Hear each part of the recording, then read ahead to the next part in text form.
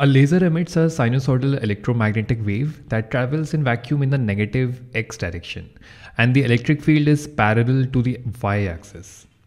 The wavelength is 10 micrometers with E max as 1.2 megavolts per meters.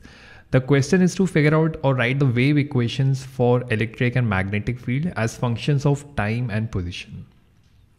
All right, there's a lot going on here. So let's look at each piece of information closely.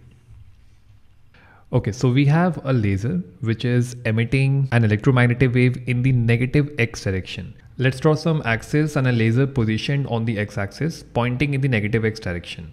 Now this laser emits an electromagnetic wave and we know that the electric field, the electric field is parallel to the y-axis, which means that the field will oscillate along the y-axis and it is moving in the negative x direction.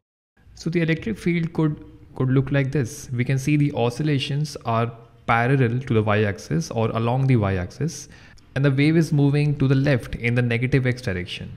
Now this wave is traveling in vacuum so the speed would be equal to 3 into 10 to the power 8 meters per second.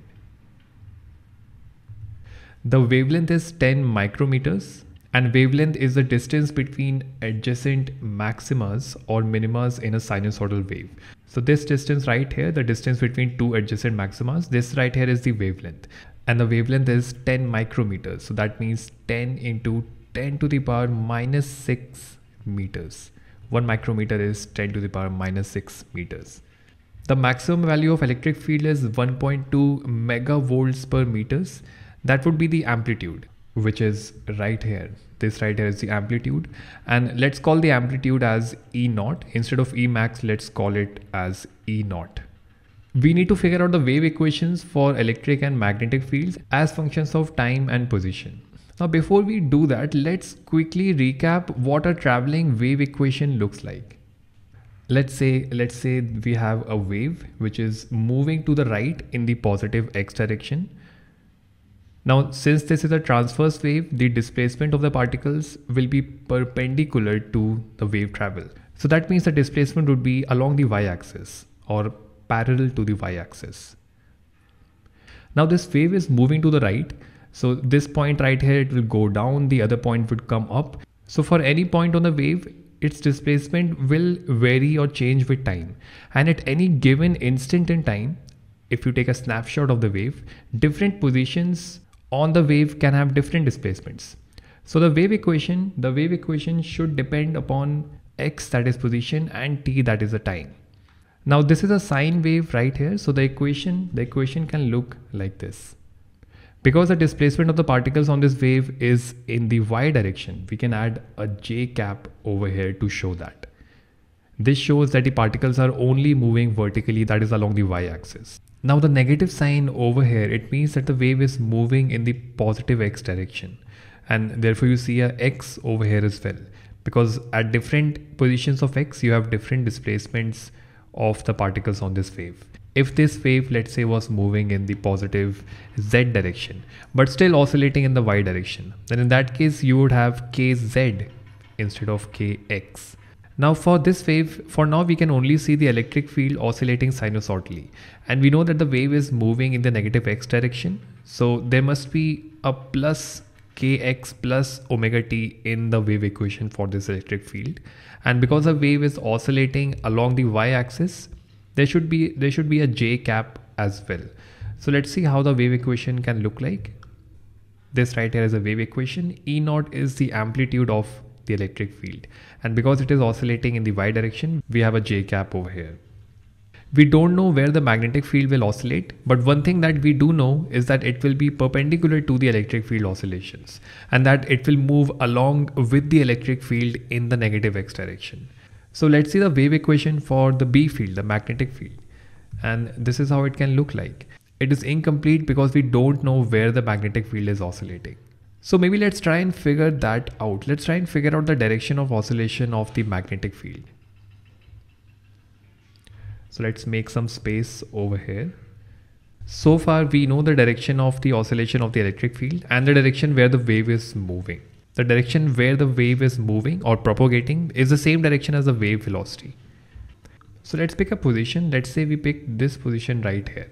So the electric field at this point is pointing vertically up and the direction of propagation is to the left. And let's call that vector which is pointing in the direction of propagation. Let's call it S. And the direction of propagation that is along the vector S, it's given by the cross product of E and B.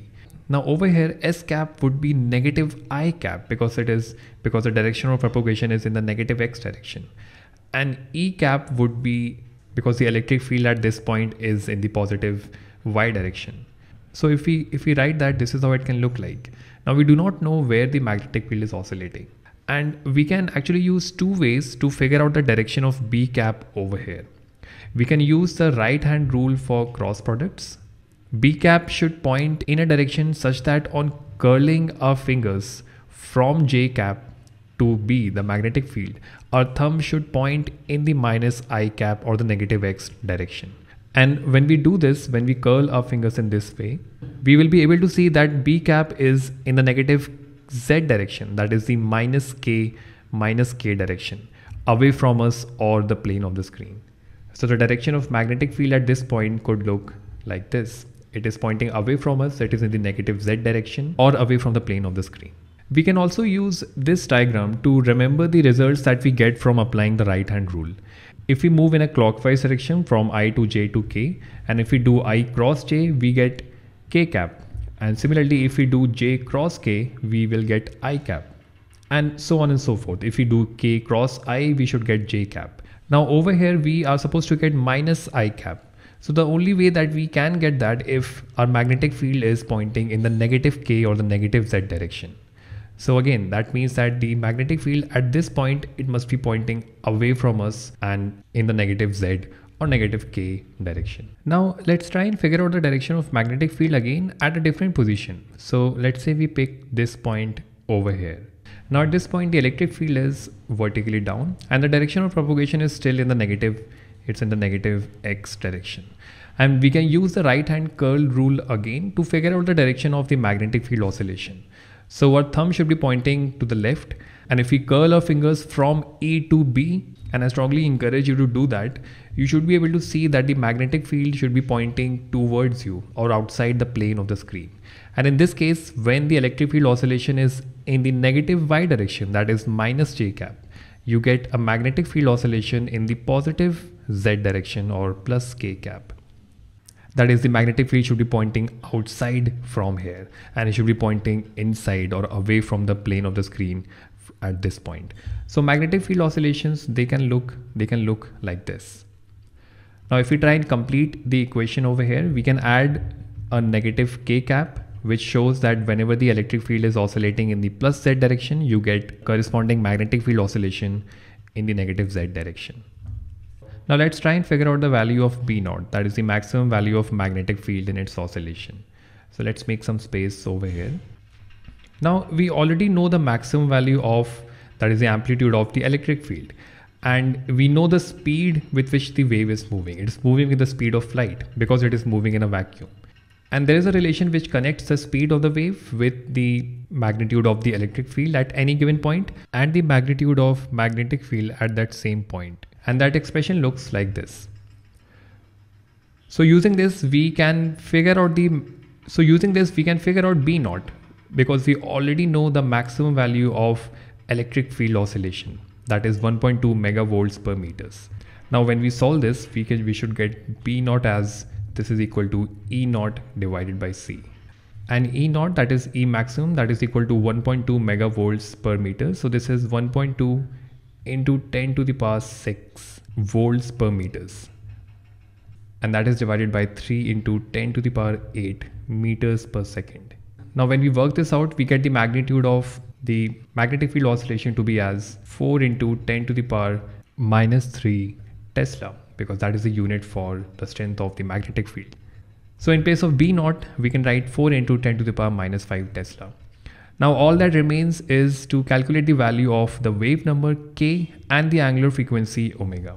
So let's do that. k is given by 2 pi divided by lambda which is the wavelength and wavelength over here is 10 to the power minus 5 meters. So when we work this out when we place when in place of lambda we write 10 to the power minus 5 And when we work this out, we get the value of k to be as 6.3 into 10 to the power 5 radians per meters. Radians per meters because those are the units. You have 2 pi radians divided by the wavelength which is measured in meters. Then we have omega. Omega is 2 pi into f and we can we can work on this we can manipulate this relation we can write in place of f we can write 2 pi into c divided by lambda because frequency the wave speed and the wavelength are related by the wave relation which is that the wave speed equals wavelength multiplied by the frequency. And we can further work this out because we already know 2 pi by lambda. We just calculated it over here. So we can write this as we can write this as k into c. And when we multiply 6.3 into 10 to the power 5 with the speed of light we get we get omega as 1.9 into 10 to the power 14 radians per second now we can place the values of k and omega into our equations and when we do that and also the value of b naught and when we do that finally we get our wave equations this is how the wave equation for electric field can look like you have the maximum value of electric field and the values of k and omega placed. And the corresponding wave equation for magnetic field can look like this.